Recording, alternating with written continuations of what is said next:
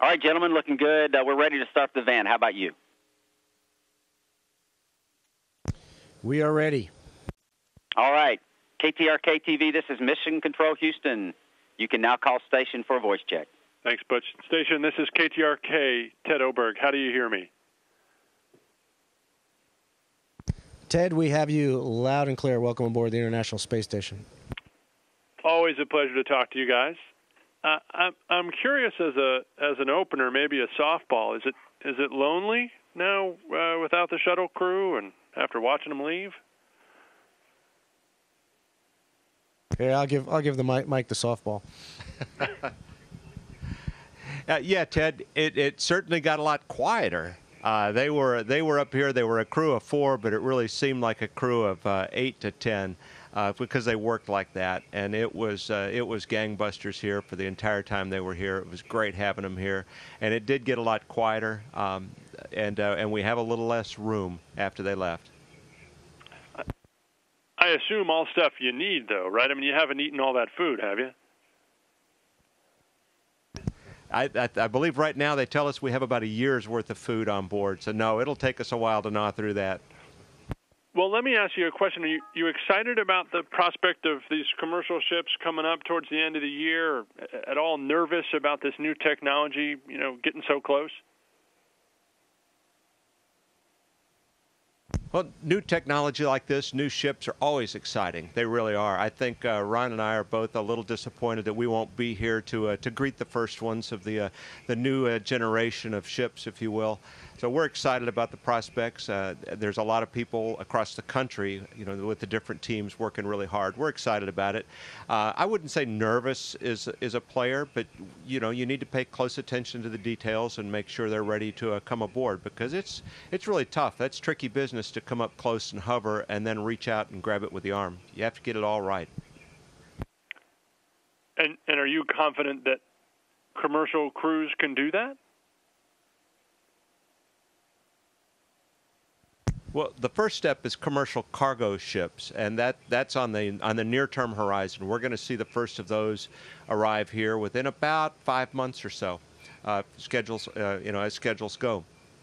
And for the cargo ships, they'll come up and do very similar to what the uh, Japanese HTV did. Come up and basically hover underneath the space station, where we'll reach out and grab it with the arm. And we've done that twice with the uh, Japanese cargo ship.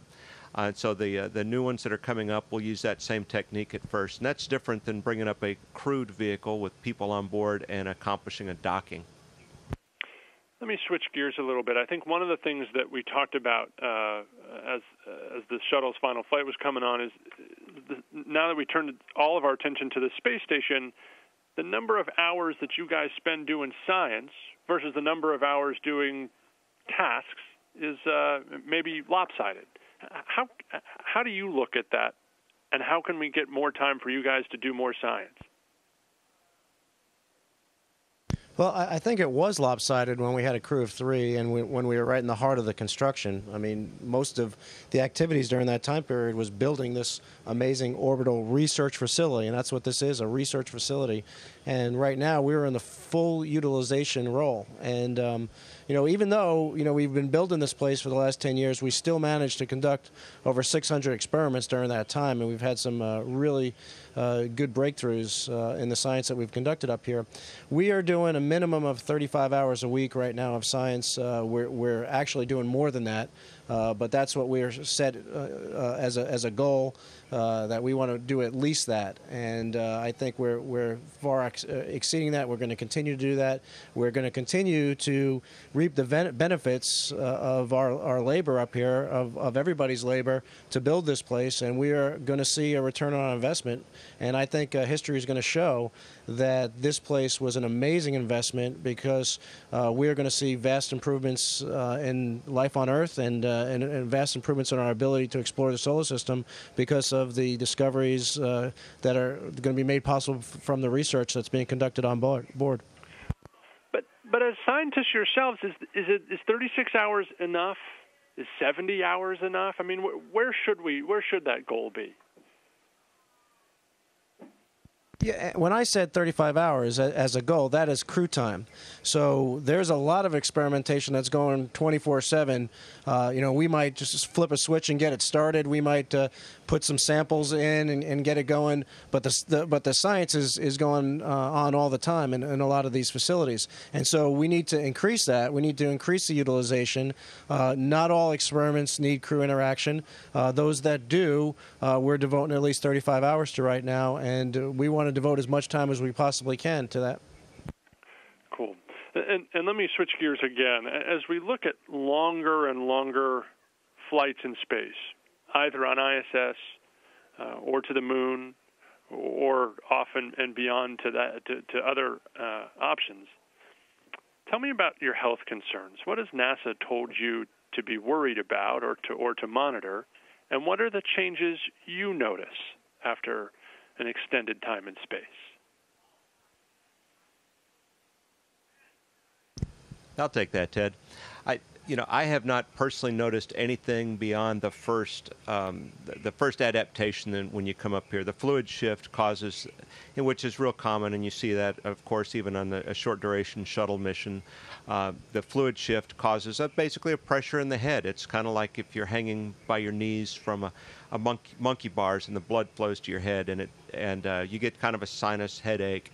Uh, that dissipates as your body adjusts to those kind of things uh, and all the body systems kind of adjust. Right now, I, I feel, you know, just I, I feel no different.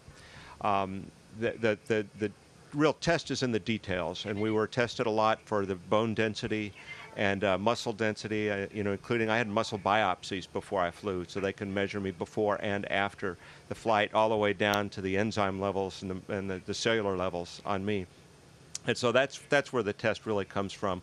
We don't really notice it up here, but you want to see. And there's there's a lot of things we're doing with exercise regimen, with uh, medis- medications to minimize uh, bone loss, uh, muscle uh, atrophy, and other possible uh, uh, you know negative side effects of zero G. And it's not bad for six months. it it could become more significant if you're making an eight month one way trip to Mars and then you need to be healthy enough to get out and get some work done and uh, get home for another, you know, roughly eight month trip on the way home. So we're learning it now in, in uh, steps that are, I think, are uh, quite reasonable, and they're getting as much out of us, us uh, human guinea pigs as they can. Got it. My time is almost up. But any changes to your eyesight at all?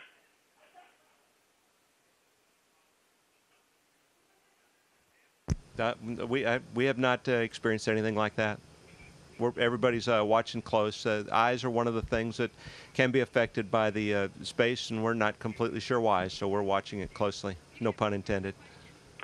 And, and, guys, it's always a thrill to talk to you. I, I'm curious, and I don't expect you to zoom out the camera, but are you sitting or standing or just free floating?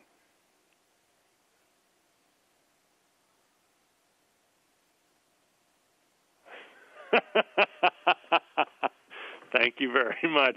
It's uh, it's one of those uh, questions that's better left that, unanswered. I hope that you guys answered your question.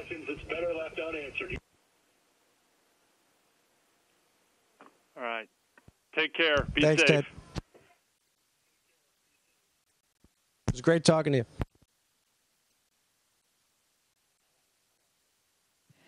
Station, this is Houston ACR. That concludes the KTRK TV portion of the event. Please stand by for a voice check from KTRH Radio. Station, this is KTRH Radio. How do you hear me? We hear you loud and clear. How about us? You, sound great. You guys sound terrific. Thanks. It's good to good to talk to you. Welcome aboard the International Space Station. It is Matt Patrick and Lois Melkonian from KTRH uh, in Houston. First thing we want to say is go Aggies. I understand we have quite a connection. Oh, we've got the Aggie connection going up here for sure. I, of course, am an Aggie grad and an Aggie dad, and uh, Ron Garan is an Aggie dad himself. So, uh, you know, we've got all kind of Aggie spirit up here. How much Aggie clothing did you bring with you up to the space station? Oh boy, that is really a loaded question. I, I, there happens to be a lot of maroon in my clothing selection. Mike Fossum Ron Garan, it, uh, it is a great to talk with you guys. Listen, is there a different mood uh, on board right now uh, with the U.S. Uh, space flight, uh, the shuttle flights uh, on hold, and the next flight not coming in for a couple of years? Is there a different kind of a mood? And of course, you've got the folks in, in, in Clear Lake that are, you know, a, a little, I, I, don't know, I, I guess the, the, the mood is a little more somber. Do you feel that there, or are you looking forward to the days ahead? Well, well, yes to both questions. Uh, we definitely feel it up here. This is a, a, very difficult, challenging transition period for not only us as a nation, uh, but also our entire the entire international sp- uh, space program, space station program, uh, and then you know particularly felt in those places around the country that uh, are involved in the space program, like Clear Lake. Um, so you know. It, it, there's a lot of feelings involved. That there's a lot of uh, things to think about on that. You know, um, you know, the way we like to look at it, though, is that you know we're closing the chapter on one, on one part of our history, um, but we're opening up a new chapter. Uh, it's going to take us a little bit of while, you know, a little while though to get going in this new chapter. This new chapter will hopefully see us leaving low Earth orbit and, and starting to really explore the solar system. Uh, and I and I think and I hope that uh, Clear Lake is going to be a big part of that. But you know, we recognize that there's a lot of people that uh, are you know really going through some tough times be, because of this. And uh, you know, I just hope everybody realizes all those people that uh, uh, are having to find other, uh, you know, making career changes right now because of the transition that we have in the space program. What a tremendous contribution and how important their contribution has been uh, that they've made uh, so far. Because you know, I truly believe that you know history will look at this International Space Station and it will see not only did it allow us to, to take that next step and go explore the sol- solar system, but it also made a really big difference, a really big positive impact on uh, the improve, you know, just improving life on Earth and and I think it's something to really be proud of, and we are really proud of all those people that are involved in that. Ron Garan, Mike Fossum, as you look at Expedition 28 and you're represented by the U.S., by Russia, by Japan, what is it like in the space station in terms of just language issues, relational issues?